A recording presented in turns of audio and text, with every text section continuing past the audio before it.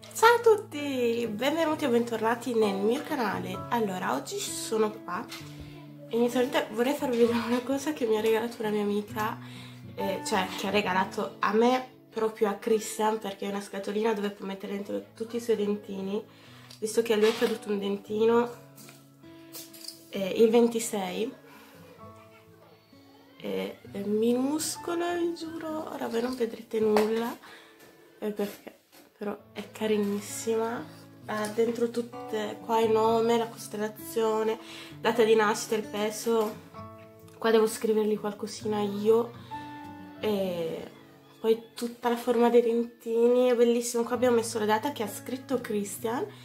E quindi ora ci rimetto dentro il dente. Poi lo sistemo perché va sistemato bene con la pinzetta. Ma in questo momento non ce l'ho sotto mano. Volevo troppo farvelo vedere perché boh cioè voi che conoscete anche Christian, che ancora aveva 4 anni, eh, no, che non aveva ancora 4 anni, non aveva ancora compiuto 4 anni quando ho iniziato a fare video su YouTube, penso sia qualcosa di stupendo far, mostrarvi che comunque ha perso un dente, quindi sta già diventando grande, cioè l'anno prossimo già sei. Sono qui per riregistrare in realtà questi video perché li avevo già fatti, però erano molto confusionari, cioè nel senso che addirittura ancora dopo un anno e qualche mese ho gente che mi chiede ma quindi tu sei rimasta incinta senza far sesso? E io, vabbè che mi chiamo Maria, perché il mio vero nome sarebbe Maria non Mary. Però i miracoli ancora non li ho mai ricevuti, cioè no quindi ho pensato che fosse carino riregistrarli con più chiarezza, magari meno rumore, possibile? Grazie, e un pochettino più tranquillità, va bene, e più scioltezza perché mi sono resa conto riguardando i video che in realtà non so capito neanche io che sono lì a raccontare che ho vissuto quelle cose perché ero molto tesa, ero nei primi video, sapete un po', no? Partiamo dal principio. Io sono rimasta incinta nel classico modo, cioè ho avuto un rapporto sessuale e sono rimasta incinta. Non è che sono rimasta incinta da sola e ho avuto un miracolo, sono rimasta incinta senza far sesso, no. Eh, mamma, a me piace miraculous. Va bene.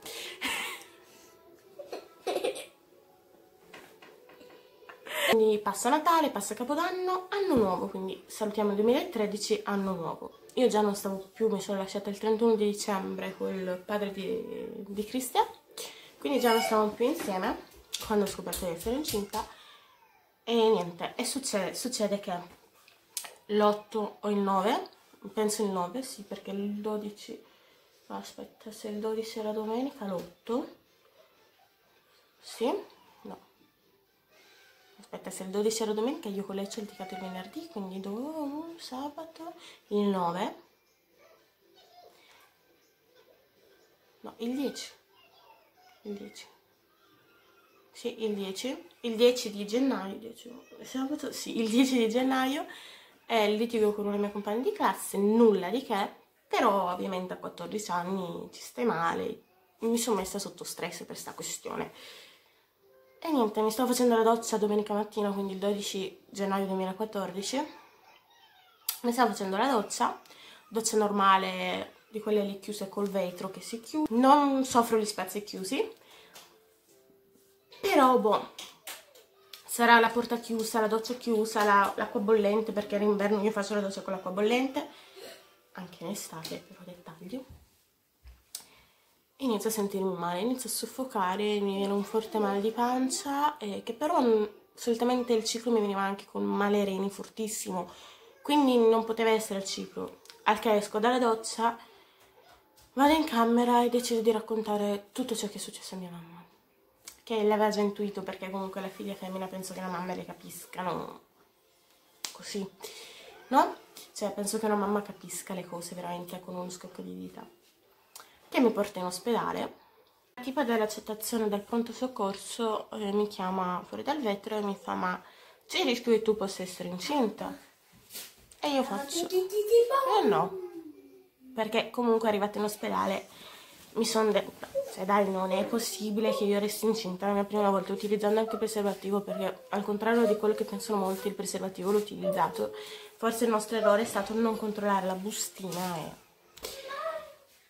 e niente, in ginecologia mi fanno le analisi del sangue col test di gravidanza, quindi l'H beta qualcosa, ora non mi viene in mente.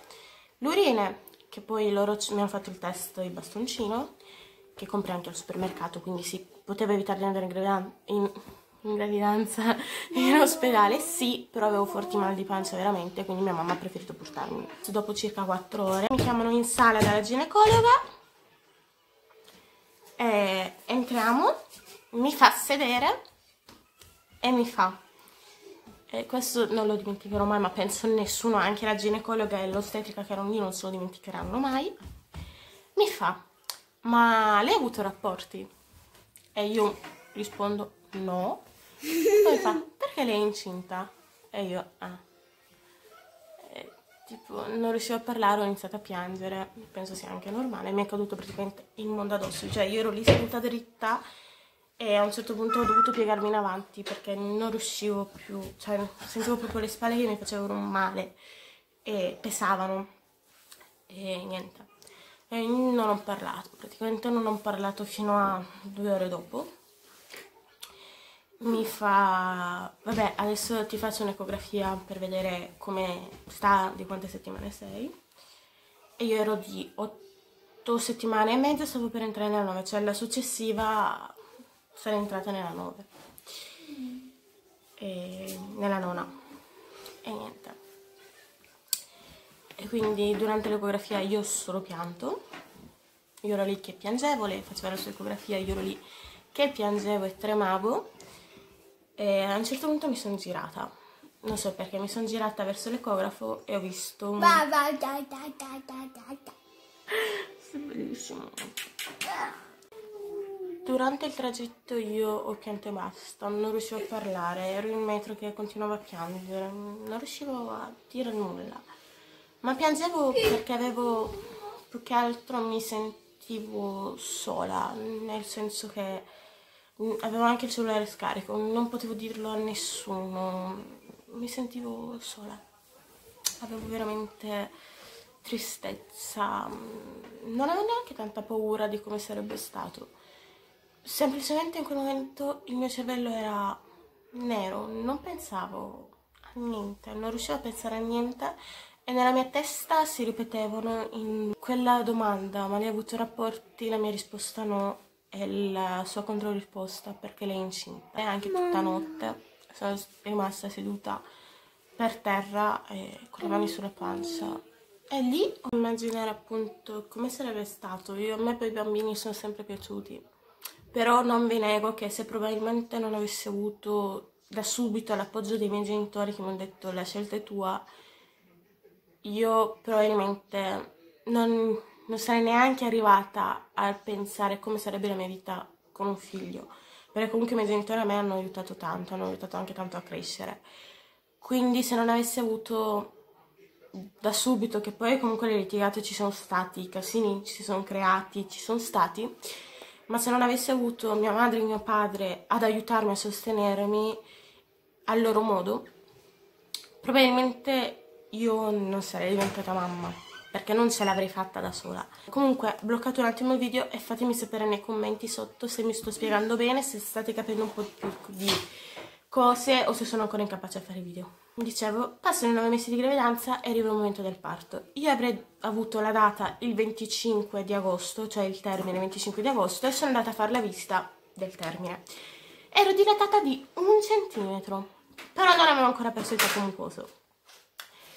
Eh, mi hanno consigliato di camminare tanto, e allora io come mamma sono andata a fare le camminate, tante camminate, e quel pomeriggio siamo praticamente arrivati al supermercato abbastanza lontano, a piedi, e lì inizio ad avere qualche contrazione ma leggera. Come procede così tutto il 26 proprio leggerissima. E il 26 notte alle mezzanotte qualcosa io mi alzo vado in bagno devo far pipì semplicemente. Noto il tappo mucoso quindi ho perso il tappo mucoso. Fantastico. Non avevo ancora contrazioni forti sempre leggere fantastico. Io ormai ero già convinta che comunque non avrei partorito più da sola perché mi hanno detto sì ma sei giovane probabilmente ritarderai di un po'. Fantastico. E quindi mi ero già preparata psicologicamente a un parto indotto.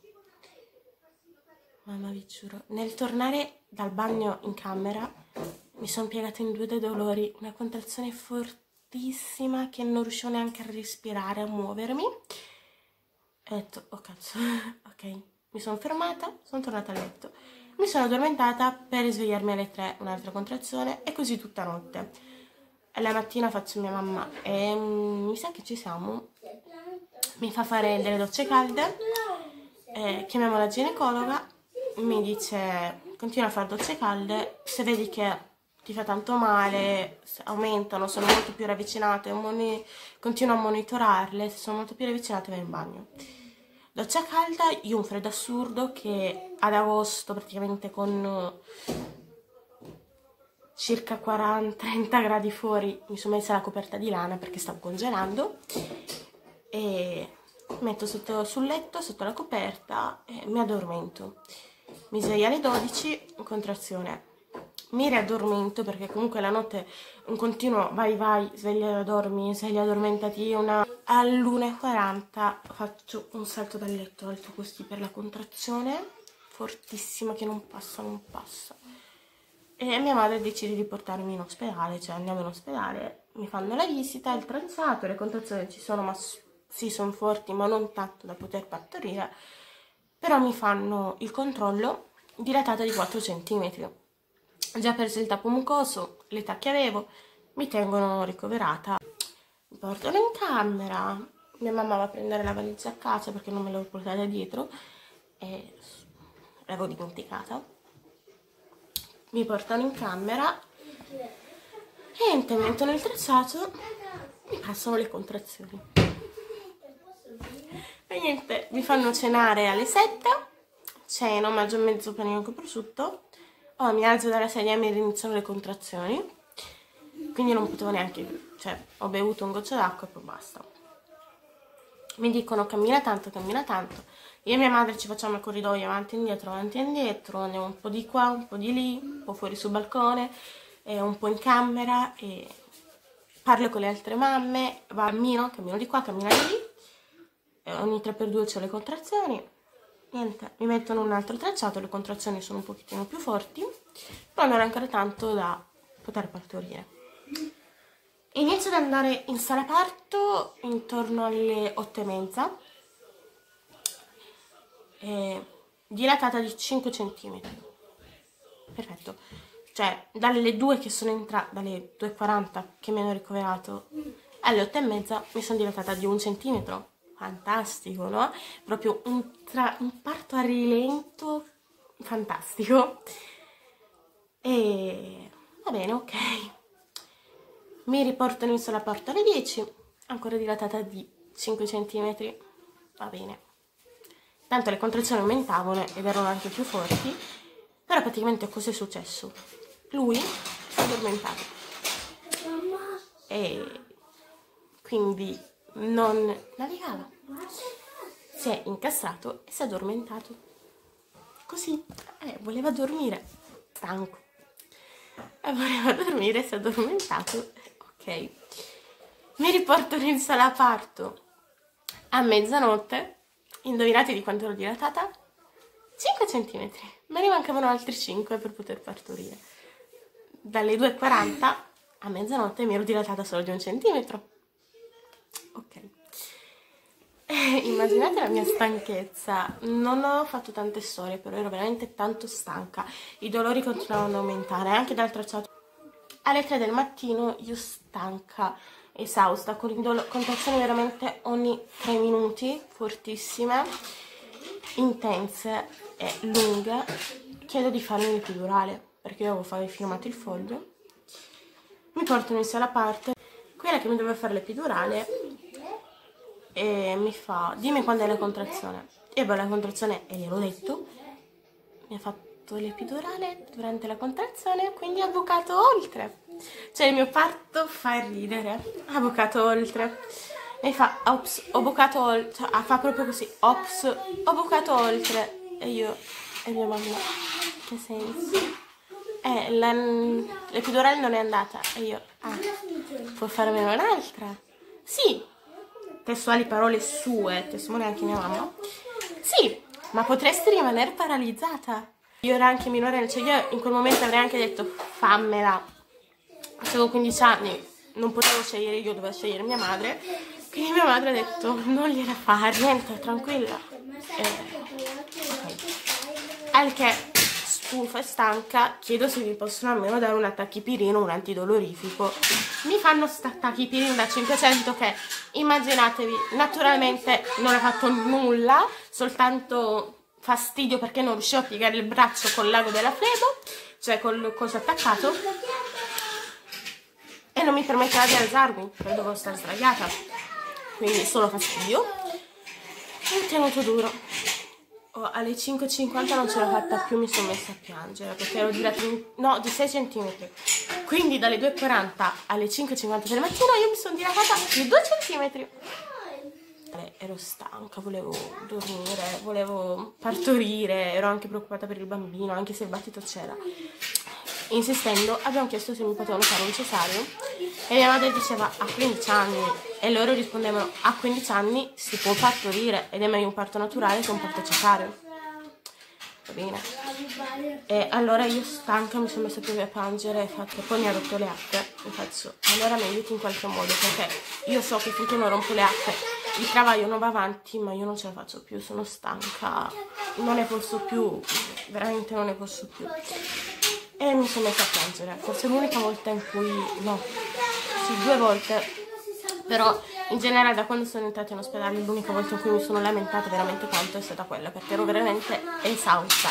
Erano quasi le 6 del mattino, ero lì da ore e ore, non, mi ero dilatata solo di 2 cm, non ce la facevo più. Al che mi fa, io ti posso rompere per metà il sacco. E faccio, va bene. Mi fa stendere sul letto, alle 6 mi rompe per metà il sacco. Tra l'altro io di notte non ho avuto mai un'ostetrica fissa, perché ne entrava una, mi visitava, usciva, dopo tre ore ne tornava un'altra. Cioè ne trovava proprio un'altra che mi richiedeva di nuovo tutto, allora io ogni volta dovevo stare lì a spiegargli la mia età, quante settimane ero e tutto. Alle 7 del mattino entra l'ostetica, l'ostetrica, l'ostetrica e mi dice io da qui non esco finché tu non partorirai. Ok, lei è la sua assistente che era una... stava facendo il tirocinio e io, va bene, ok. E veramente lei mi ha aiutato stratanto. Mi fa, guarda, ti faccio mettere in piedi, stai in piedi, guarda, ti faccio sedere sulla palla guarda, mettiti in questa posizione e fai gli squat, praticamente mi ha fatto fare gli squat. E mi ha visitato, da 2 cm che ero alle 5,50 sono arrivata a 7. Solo stando in piedi, solo quella che mi aiutava e mi diceva come fare. Vabbè, anche la rottura del sacco ha aiutato molto. Ok. Verso le 8 io ero in piedi, perché lei mi diceva sta in piedi, che piegati, fai gli squat, stavo facendo gli squat a una certa sento scendermi una cosa. Lì per lì un distinto, ho messo la mano e ho sentito qualcosa. E ho detto, mm, devo spingere. Però ero dilatata solo di 8 cm e mezzo. Però io sentivo proprio che dovevo spingere, me lo sentivo, cioè il mio corpo mi diceva devi spingere. Allora ho iniziato a spingere. Tante spinte, tante spinte e mi sono stancata, non c'era più il bacio del bambino, mio neanche, e mi ha messo l'ossigeno per farmi prendere un attimo, cioè il battito del bambino era debole, il mio quasi assente. E ho chiuso un attimo gli occhi e quando li ho riaperti mi sono trovata sta maschera dell'ossigeno e ho detto che cosa è successo? E fa continua a spingere, devi spingere. E fai tutte le contrazioni, spingi tutte le contrazioni. E io faccio ma non so come si fanno, non mi è partorito. E fa segui il tuo corpo anche ho seguito il mio corpo, ho fatto tutta la spinta eh, alle 8.28 è nato. Christian non ha pianto, non perché avesse il cordone intorno al collo, ecco. No. E...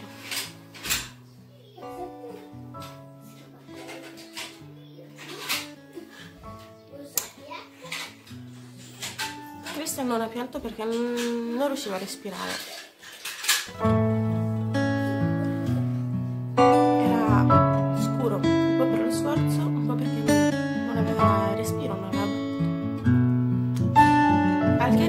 A dirmi, è maschio, lo prendono e lo portano fuori. E io e mia mamma lì, così che ci guardiamo. Mia mamma che corre dietro loro, io che continuo a dire ma cosa sta succedendo?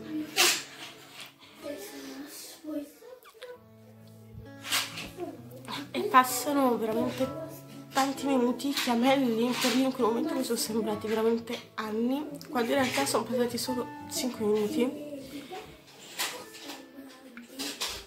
Mia madre ritorna in camera e mi dice guarda che è normale, io faccio no, non è normale, perché io in gravidanza mi sono vista tantissimi parti e nessuno mi ha captato questo, quindi non prendermi in giro, non è normale.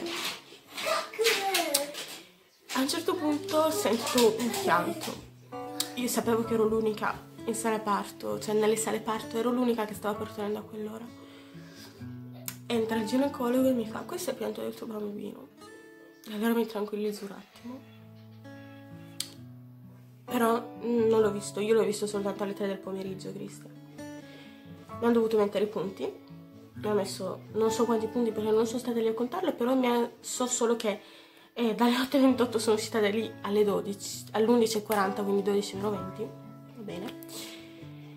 E, nel frattempo comunque mi hanno fatto espellere la placenta, intanto che io parlavo con mia mamma, poi mi hanno messo i punti e posso dirvi che mi hanno fatto male, perché me l'avete chiesto, sì, perché mi hanno fatto l'anestesia, mi ha forse fatto più male l'anestesia, però l'anestesia mi è durata un'ora, quindi alle 9.40, ho iniziato tipo alle 8.40, alle 9.40 io l'anestesia non ce l'avevo già più, sentivo tutto, ho sentito tutto, e niente. Christian è stato in terapia intensiva, non riusciva a respirare da sola, aveva bisogno un attimo di un aiuto. Però ha avuto l'ossigeno solo per due giorni, poi gli hanno tolto. Poi è rimasto lì perché ha preso un'infezione incubatrice alle feci, quindi è stato lì un dentro un po'.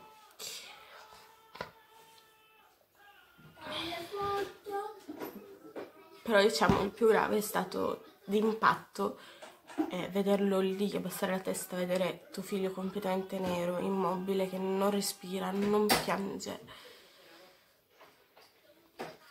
Penso che sia brutto anche 50 anni, quindi immaginatevi una ragazzina di 15 quanto questa cosa le è toccato dentro.